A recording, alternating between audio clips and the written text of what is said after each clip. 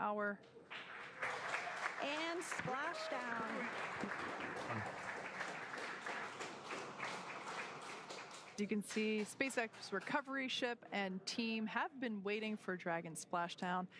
Dragon successfully re entered the Earth's atmosphere, followed by deployment of its parachutes to slow the spacecraft down, wired straps and, um, and harnesses around, as you can see there, around the Dragon capsule.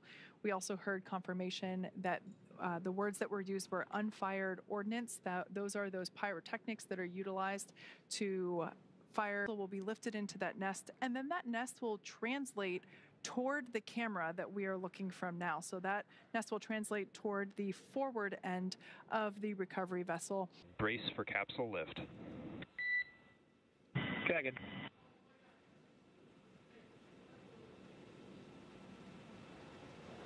All right, lift now underway as we bring Dragon Endeavor, Endeavor out of the water so the side hatch was never used uh, while it was in space.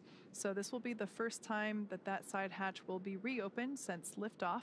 But it, uh, it is typically one of those middle seats because they're easiest um, to reach.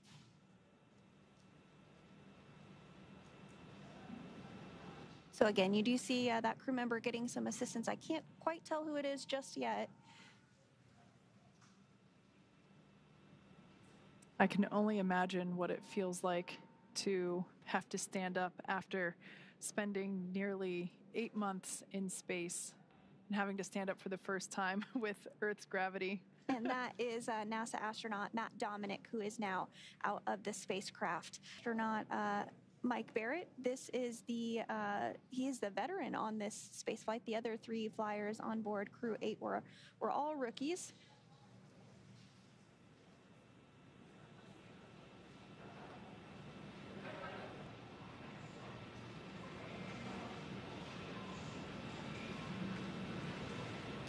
And I do believe that is NASA astronaut Jeanette Epps who is next out.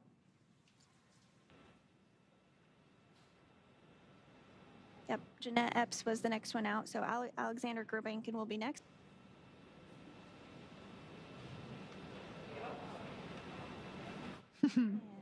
Some thumbs up.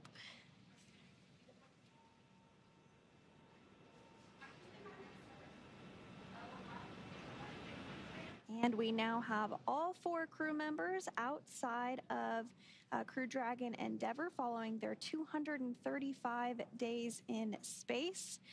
Some cheers and excitement for Crew 8. That's great to see.